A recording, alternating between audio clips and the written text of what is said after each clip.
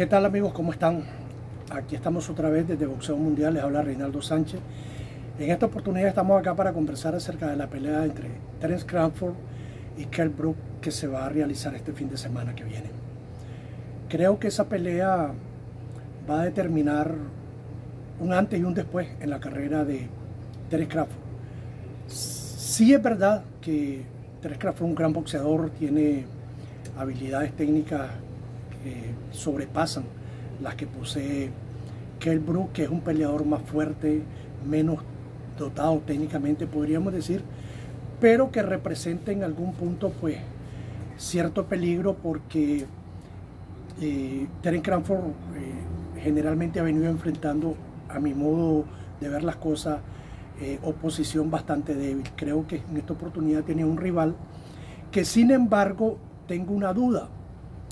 Creo que va a ser el peso lo que va a determinar eh, la, la, performance, la actuación de Brook. Porque Brook tiene tres, sus tres últimas peleas las ha hecho en 154 libras, incluso ya él peleó en una oportunidad contra Gennady Golovkin.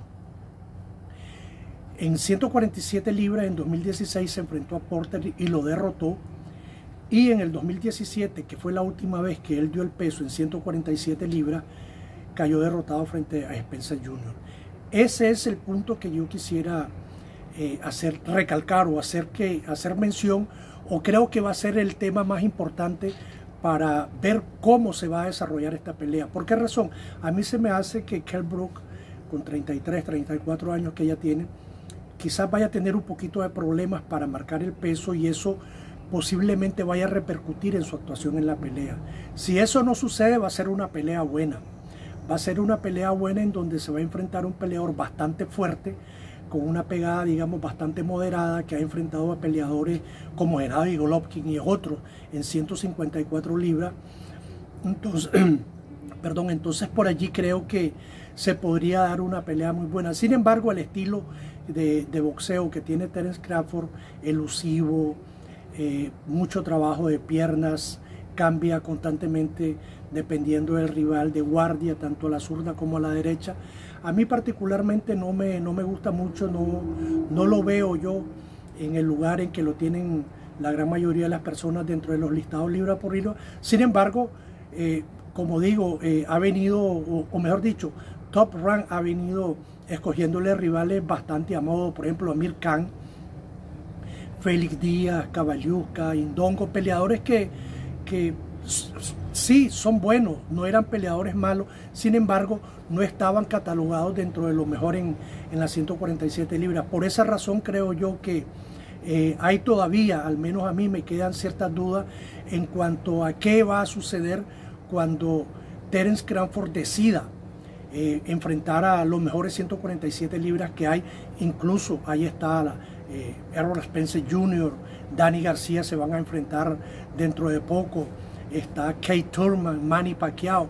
No sé qué va a pasar con, esta, con este muchacho y su carrera porque mientras siga haciendo este tipo de pelea donde escogen a los rivales quirúrgicamente, siempre va a crear dudas, siempre nos va a mantener a nosotros en vilo pensando qué va a hacer cuando realmente enfrente a los mejores. De todas formas, creo que va a ser una pelea buena.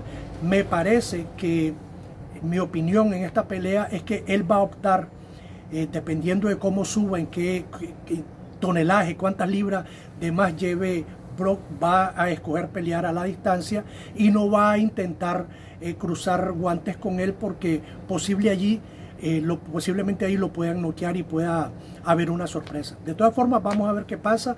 Díganme ustedes, yo la verdad eh, voy a interactuar, voy a tratar de interactuar con ustedes mientras el tiempo me lo permita. Creo que he leído algunos de los mensajes que me dejaron en el último video y creo que está bien.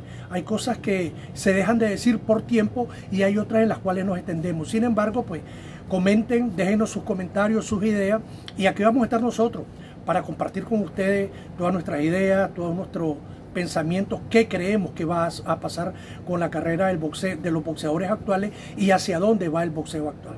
Un saludo y que estén muy bien.